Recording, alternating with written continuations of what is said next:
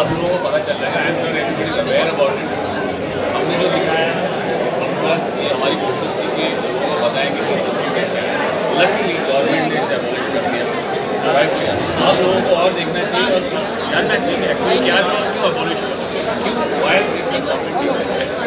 Of course हाँ पूरी कोशिश की है। कि क्योंकि हमें पता ही नहीं था ये हो जाएगा। हमारी पहले की बट लकीली लेकिन हितेन जी ने इतना बढ़िया काम किया इस फ़िल्म में।